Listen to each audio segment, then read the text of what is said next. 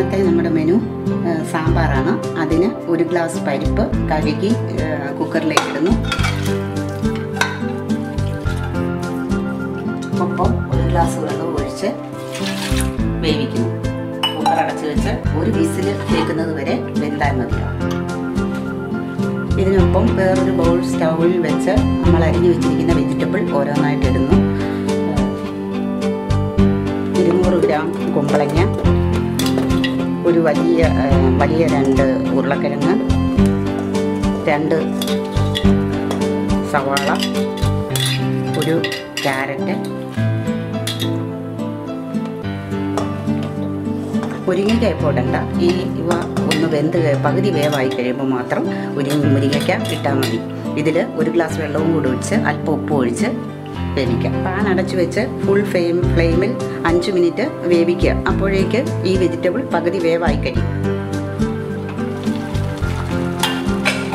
ഇപ്പോൾ പകുതി വേവായിട്ടുണ്ട്. നമുക്ക് മുരിങ്ങയ്ക്കയും തക്കാളിയും ഇതിനകത്തിട്ട് അല്പ അല്പനേരം കൂടി വേവിക്കാം.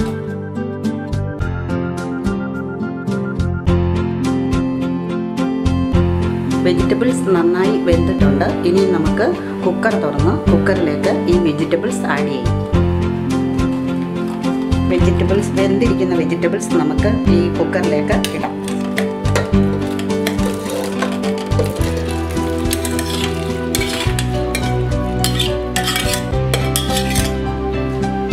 അതിനുശേഷം കീറി വെച്ചിരിക്കുന്ന അഞ്ച് പച്ചമുളകും അല്പം മല്ലിയിലയും കൂടി ഇതിനകത്ത് ചേർക്കാം.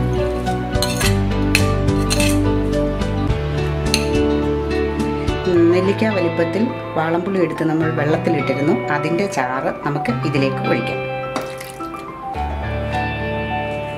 അതിനുശേഷം അല്പം ഉപ്പ് പാകത്തിനിടുക.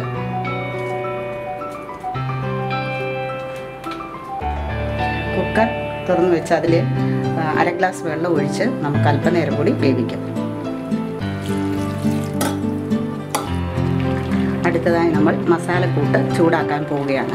അതിനായി മൂന്ന് ടേബിൾ സ്പൂൺ മല്ലിപ്പൊടി ഒന്നര ടേബിൾ സ്പൂൺ മുളക് പൊടി അര ടീസ്പൂൺ മഞ്ഞൾപ്പൊടി കാൽ ടീസ്പൂൺ ഉലുവ കാൽ ടീസ്പൂൺ കായപ്പൊടി.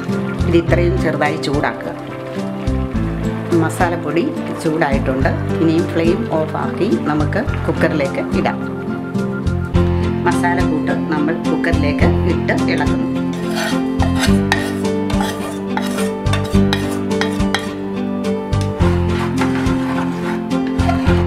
സാമ്പാർ കൊഴുപ്പ് കൂടുതലായി തോന്നുകയാണെങ്കിൽ അല്പം വെള്ളം കൂടി ഒഴിച്ച് ലൂസാക്കാവുന്നതാണ്. മുരിങ്ങയ്ക്ക അവസാനം വേവിക്കാനിട്ടത് അത് അധികം വെന്ത് പോകാതിരിക്കാനാണ്. ആദ്യമേ ഇട്ടാൽ അത് വല്ലാതെ വെന്ത് പോകും. ഇനി കടുവറുത്ത് നമുക്ക് സാമ്പാറിലേക്ക് ഒഴിക്കാം. ചൂടായിട്ടുണ്ട്. അതിലേക്ക് രണ്ട് സ്പൂൺ വെളിച്ചെണ്ണ ഒഴിക്കുക.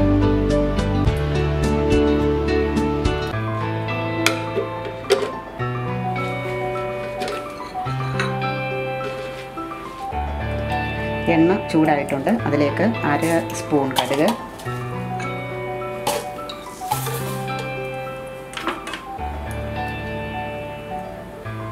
കടുക് കൂട്ടിക്കഴിയുമ്പോൾ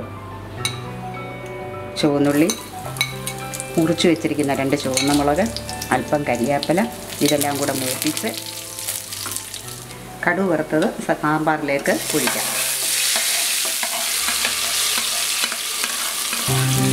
നമ്മുടെ സാമ്പാർ റെഡിയായിട്ടുണ്ട്